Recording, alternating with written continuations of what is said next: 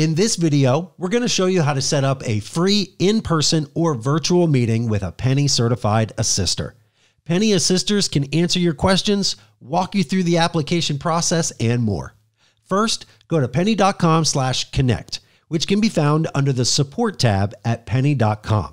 Scroll to the box that says find a Pennie assister and click the link. You are then taken to a eight question form. Now, all the answers are optional, but the more you fill out, the more likely we can connect you to an assister in your area and one that can serve you in your preferred language. Click submit and you'll be contacted shortly to schedule a time that works best for you.